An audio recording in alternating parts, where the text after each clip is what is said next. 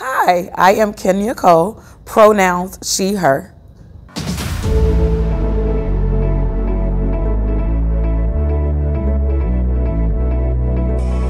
I am the Director of Human Resources. In having conversations with people initially who worked for the organization, I was excited to see that unlike um, many places that I've worked in the past, that so many people seem to be connected to the mission and the values of the organization.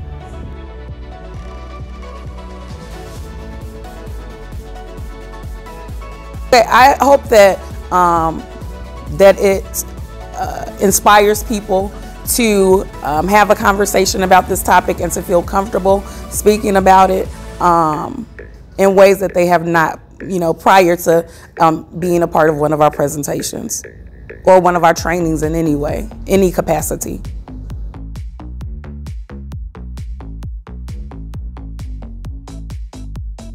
To always be um, open for change. Things are ever changing um, in the world around us in our lives. So I would uh, tell my college self to always be open to change and to be excited about it. It's not a bad thing like some may, may think, you know, may consider change to be a bad thing, but in a lot of situations, change is a great thing.